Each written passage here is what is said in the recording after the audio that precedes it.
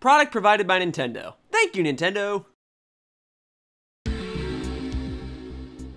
Humans, I'm Yoshiller, and today I wanted to discuss Nintendo's recently released localized remakes of Famicom Detective Club. Nintendo released two games in this series on the Nintendo Switch, and they're visual novels based on two 1980s Famicom classics. The fact that these have been remade and localized holds a lot of significance, so I wanted to represent these games in some fashion on my channel. And to be completely honest with you all, I didn't exactly know what type of video I wanted to make regarding these games. I mean, sure, I could have just recorded traditional gameplay or a walkthrough like I usually do on my channel, but I felt as though doing so would kinda go against the spirit of the game. While I suppose one could argue that there are multiple points in which a player could get stuck and wish to see how to get to the next point of the game, I still overall felt that making a walkthrough for the Famicom Detective Club series of games just didn't feel right. And even though it's a visual novel and novels can be read or shared with other people, it just posed a problem and I just didn't personally believe that recording such content for my channel would be too engaging. Don't get me wrong, visual novels definitely have their place, and more interactive ones such as this serve as the general foundation for game design and game storytelling in general, so I just didn't exactly know what to do. So as you can see, I do find these games to be important, but recording the games for the purposes of a video definitely posed a bit of a challenge. So ultimately, I thought the best way to approach approach these games was to make more of an editorial type video. Just so we're clear, this isn't a review video, it's more of an editorial. I'm going to talk about my experience with the game, but I'm not going to be grading each individual aspect although I did like the visuals. You're gonna hear me talk about the visuals a lot. But this is not a review. I considered titling the video something to the effect of what Famicom Detective Club's localization could mean for Nintendo's future, but I thought the more simple title of Is Famicom Detective Club Good? had a better ring to it. And if you're watching this video and just want to know a blunt, direct answer to that question, then I'm pleased to say that the short answer is yes, it is good. Okay, that's it. Oh, okay, no, you know I can't just end the video there. There's a lot that one could say about these games, and I think I should elaborate on why these games are good. And for the record, I'm not really much of a visual novel guy. I think they have their place and can serve as very good fits on mobile devices and portable gaming systems, but I'm more of an ignorant gamer that tends to favor just, oh, I don't know, diving into a game with little thought rather than trying to follow a more complex narrative and pay attention to things. But Famicom Detective Club is more than just a visual novel. It walks the line between a more traditional storytelling experience where you, as a spectator, just go from one story beat to the next, to the next, to the next, but it also has a bit more interactivity than most other visual novels. It's not really a choose your own adventure type of game, no matter what you will need to progress on with the story, but they are still games with the word detective in the title, and as such, you'll need to do some detective work to discover some details for yourself. As such, the game can effectively use a show, don't tell method of storytelling in a way that a fair share of other visual novels can't. Every screen in the game is crafted with a purpose. Each background in the game is crafted in a particular way in case you want to check something. And trust me, I did that a lot.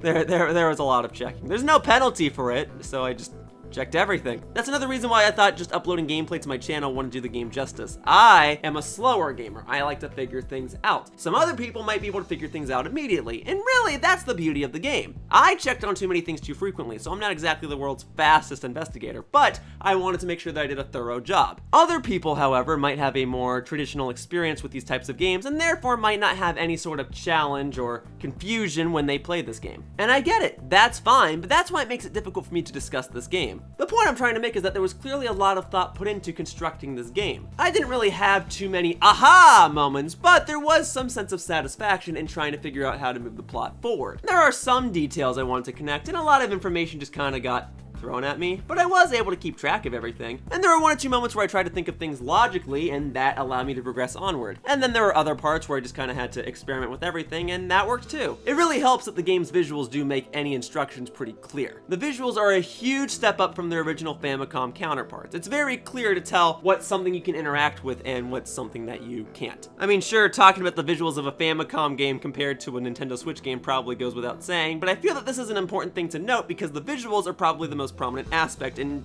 any sort of visual novel, these remakes definitely make it clear that the artwork is of the utmost importance. And on that front, the game does have a lot of charm too. It's not a comedic or whimsical game, but there is a sort of lighthearted feel at times. I mean, there's no hiding it, these games revolve around some really serious subject matters, murders, ghosts, blood, and whatnot, but the visuals are bright and attractive. I doubt a little kid's gonna see this and confuse it for something more lighthearted, but it's important to note that there is no point where I was ever particularly bored with the game's visuals. For a game with such a dark subject matter, it would have been very easy to really highlight darker colors, but this game uses the appropriate color palette for the scenes it wants to portray. For scenes that include dark and grim flashbacks, the colors are dark to emphasize the horror of the scene. But then there are more general scenes, such as a school or a building, and those are much more bright and colorful. It just makes it easier to look at the game, which is important because you're going to be playing it for long stretches at a time. You can quit and save whenever you want, which is great, but I mean, considering it's a visual novel, it's trying to tell a story, I feel that it's important to try and get to the next chapter or to the next story beat before you put the game down. But on the topic of lightheartedness, there are one or two humorous bits in the game if you truly want to look for them. And I'm very happy about that, as it could have been very easy for this game to just be serious all the time and focus on nitty gritty imagery. I'm sure it still would have been fine if the game wanted to take that route but I'm really, really glad that it's not just super serious all the time. I mean, maybe it's just me, but the bright colors definitely drew me in more. The visuals almost look like they were painted, and the lighting looks pretty good, and the shot composition looks good, and the angles look good, and it just all works. And actually, I don't know how often other visual novels do this, but Famicom Detective Club really does a great job at making each environment feel, uh, I don't really know how to properly describe it. I don't want to say real, so I'll say more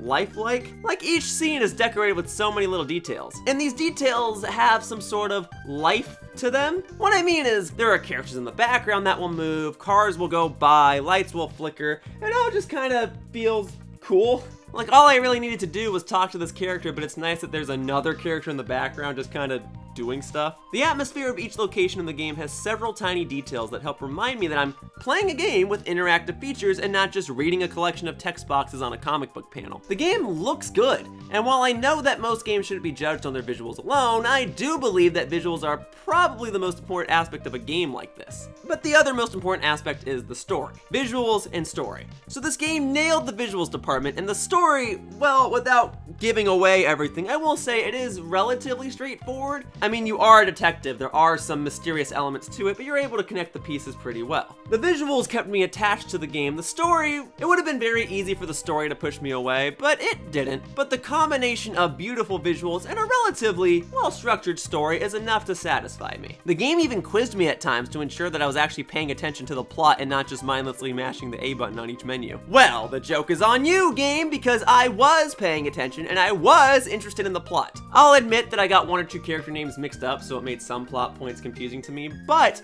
I was able to follow the game's plot, and the game did a good enough job at making each character distinguishable enough to where I could remember the key plot points. So I think that works in the game's favor. So take that, game! I passed those quizzes on my first try, and good job at making it relatively simple to remember the plot points. And actually, on that note, I didn't have to look up anything either. I could see where people could get stumped and not know how to progress onward, but at least in my experience, I was able to figure stuff out. Sure, there were one or two moments where I just selected each option on the menu until a new dialogue box came up, but to the game's credit, there were a fair share of moments where I just had to examine things for myself and do things in a way that I thought were logical. I wanted to view this girl's neck. Oh, maybe I don't need to view the neck. All right, so now I'm thinking like a detective. Oh, can I interact with the phone? Oh snap, I can interact with the phone. I don't actually need to interact with the phone, I just wanted to see if I could. You know, that type of stuff. Now, I know what I'm saying may sound like it's standard for most visual novel games, but even if that's true, I should note that this game has at least intrigued me with the visual novel genre. As a guy who generally doesn't play or view visual novels, this game at least piqued my interest a bit. No matter what, even if I play future visual novel games, I have to thank Famicom Detective Club for at least igniting that initial spark within me. It clearly feels like there was a lot of effort put into this game. I like that I can interact with the wall. I like that I can ask this character questions that are unrelated to what I needed to ask him about.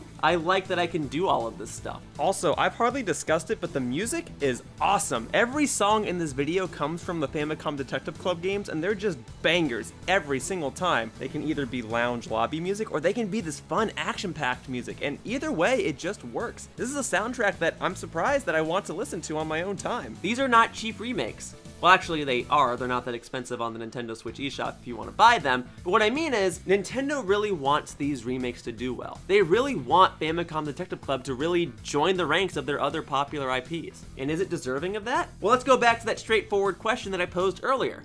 Is Famicom Detective Club good?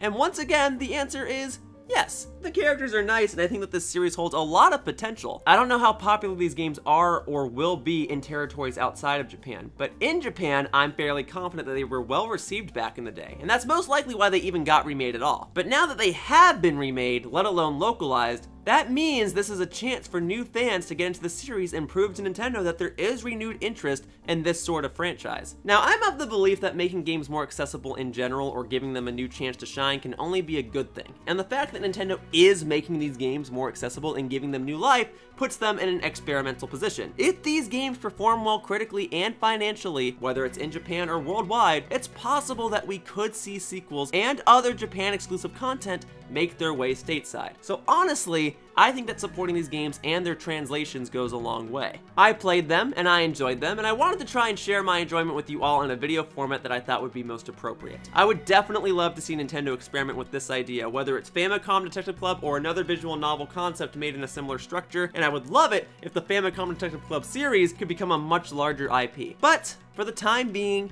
I'm glad that I got to enjoy these titles. Hey, I did my detective work, I got through the game, and I enjoyed what I saw. For now, that wraps up this video regarding Famicom Detective Club, and I'd like to thank you all for watching. Once again, I'd like to thank Nintendo of America for providing this opportunity to me, and I hope to see you all in future videos. Bye-bye, humans! Whoosh! Hey, thank you for watching my video. If you want to continue to support my content, the best thing you can do is like this video and subscribe to my channel. All you have to do is click the little buttons down below. Also, please be sure to follow me on Twitter to stay up to date with my video schedule. My tag is at RealYoshiller. I hope to see you all in future videos. Bye-bye! Whoosh!